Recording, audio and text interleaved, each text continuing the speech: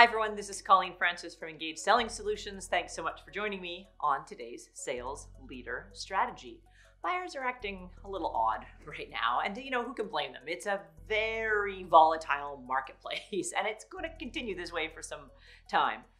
What is important for us to recognize is that buyers currently lack trust, but not necessarily lacking trust in you, lacking trust in themselves. And this is a subtle difference that I think is important for you to recognize because if they don't trust you, you probably just won't get a seat at the table. You won't get a chance to present your proposal and you're not going to win the business.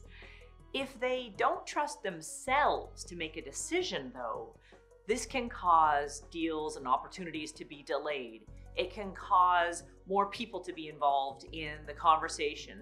It can be cause it can cause revisions and updates and changes to your proposal as they work through all of the different machinations and they work to try to minimize their their risk. And it's frustrating for a sales rep. Ultimately, buyers that don't trust themselves to make a decision often do nothing. You don't lose to the competition, you just lose to no decision. And that's the worst case scenario for them and for you. So, how can we help buyers trust themselves more? One of the best ways to do this is through case studies and referrals.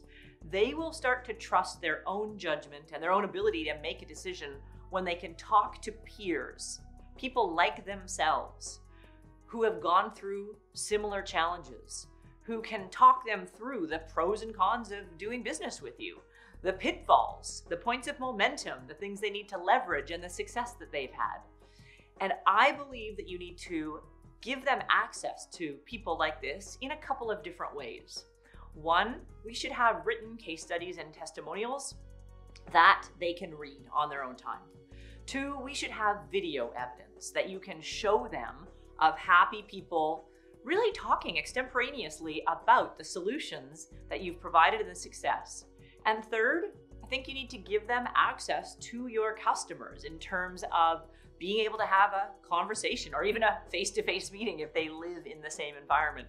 But nothing beats that phone call where they can have an honest conversation with your best customers or colleagues of theirs in an industry association or maybe even in sister companies to really ask the questions they need to feel more confident in their ability to make a decision to choose you.